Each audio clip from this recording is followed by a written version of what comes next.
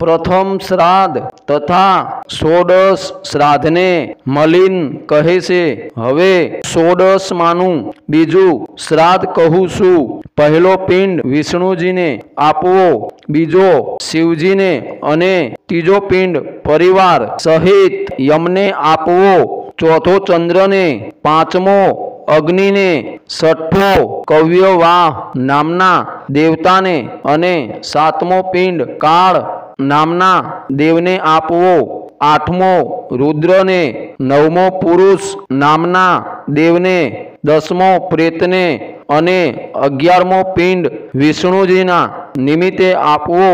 બારમો બ્રહ્મા, તેરમો વિષ્ણુજીને, ચૌદમો શિવને અને પંદરમો પિંડ યમરાજાના નિમિત્તે, સોળમો પિંડ યમ પુરુષના નિમિત્તે આપવો.